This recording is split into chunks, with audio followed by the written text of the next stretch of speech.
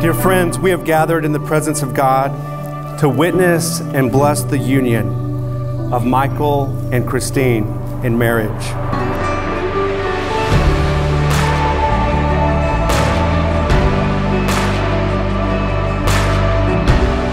God has blessed us in the best way possible. I prayed for you my life, my whole life, and even though it felt like forever to find you, I'm going to cherish every moment I have with you. This past year has been a year of growth in your faith. And as you both grow closer to God, you get closer to one another. And here you stand today, marrying your best friend.